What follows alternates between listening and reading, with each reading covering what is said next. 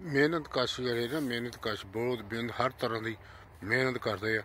ਇਹ ਦੇਖੋ ਸਾਰੇ ਇਹ ਬਣਾਏ ਹੋਏ ਆ ਟਰਨਲ ਬਣਾਏ ਹੋਏ ਆ। ਕੁਝ ਸਬਜ਼ ਕੱਪੜੇ, ਕਪੜਾ ਲਾ ਕੇ ਬਣਾਏ ਆ ਤੇ ਕੁਝ ਉਹਨਾਂ ਨੇ ਉਦਾਂ ਹੀ ਉਹ ਪੋਲੀਥੀਨ ਨਾਲ ਬਣਾਏ ਆ। ਔਰ ਇਹਦਾ ਦੇਖੋ, ਅੱਲਾਹ ਤਾਲਾ ਸਲਾ ਦੇਣ ਵਾਲਾ।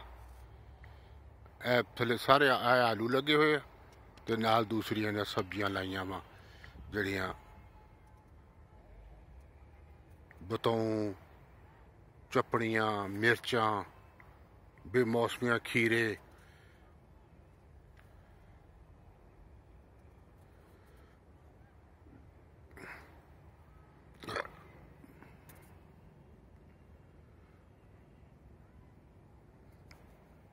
ਇਹ ਇੱਥੋਂ ਇਧਰੋਂ ਘੱਟ ਨਜ਼ਰ ਆਉਂਦੇ ਨਾ, ਉਧਰ ਦੂਸਰੇ ਪਾਸੇ ਪੂਰੀ ਲਾਈਨ ਇਹ ਨਾ ਜਿਹੜੀ ਆ, ਪੰਜਾਂ ਕਿੱਲਿਆਂ ਦੀ ਲਾਈਨ ਆ, ਤੇ ਪੂਰੇ ਲਾਈਨ ਤੇ ਟਰਨ ਬਣਾਏ ਹੋਏ ਆ।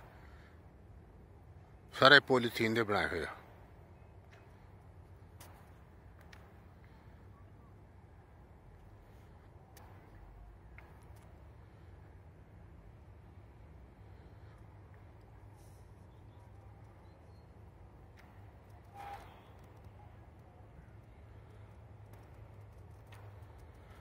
ਇਹ ਸਬਜ਼ ਕੱਪੜਾ ਲਾਇਆ ਹੋਇਆ।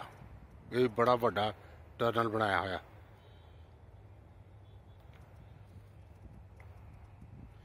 ਇਧਰ ਆ, ਉ- ਵਾ ਆਲੂ ਲਾਏ ਆ। ਉਹਦੇ ਵਿੱਚ ਪਨੀਰੀ ਰਲਾਈ ਹੋਈ ਹੈ ਸਾਰੀ। ਜਿਹੜਾ ਹਰਾ ਜਿਹੜਾ ਲੱਗਾ ਨਾ, ਇਹਦੇ ਸਾਰੇ ਪਨੀਰੀ ਰਲਾਈ ਹੋਈ ਹੈ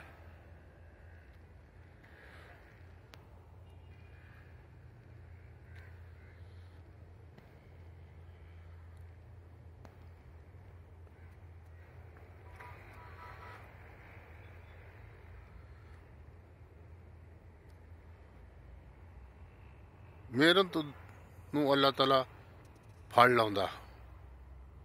ਜਿਹੜੇ ਮਿਹਨਤ ਲੋਕ ਕਰਦੇ ਆ, ਉਹਨਾਂ ਨੂੰ ਅੱਲਾਹ ਤਾਲਾ ਰਿਜ਼ਕ ਵੀ ਦਿੰਦਾ।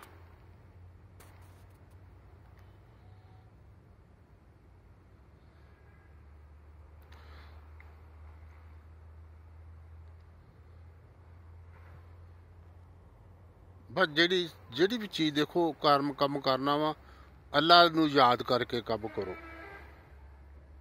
ਨਾ ਕਿ ਜੇ ਸਵੇਰ ਨੂੰ ਉੱਠਦੇ ਹੋ, ਸਵੇਰ ਨੂੰ ਆਪਣੇ ਉਠੋ, ਆਪਣੇ ਜ਼ਮੀਨ ਦੇ ਗੇੜਾ ਲਾਓ, ਅੱਲਾ ਨੂੰ ਯਾਦ ਕਰੋ।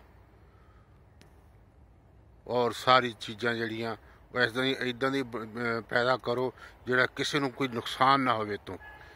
ਜ਼ਹਿਰ ਨਾ ਹੋਵੇ ਸਪਰੇ ਕਰ, ਤਾਂ ਸਪਰੇ ਕਰਦੇ ਹੋ, ਸਬਜ਼ੀਆਂ ਉੱਤੇ ਸਪਰੇ ਕਰਦੇ ਹੋ, ਕਿਸੇ ਕਿਸੇ ਹੋਰ ਚੀਜ਼, ਸਬਜ਼ੀ ਤੇ ਸਪਰੇ ਕਰਦੇ ਹੋ, ਉਹ ਜ਼ਹਿਰ ਵਾਲੀ ਨਹੀਂ ਹੋਣੀ ਚਾਹੀਦੀ। ਔਰਗੈਨਿਕ ਸਪਰੇਅ ਹੋਣੀ ਚਾਹੀਦੀ ਹੈ।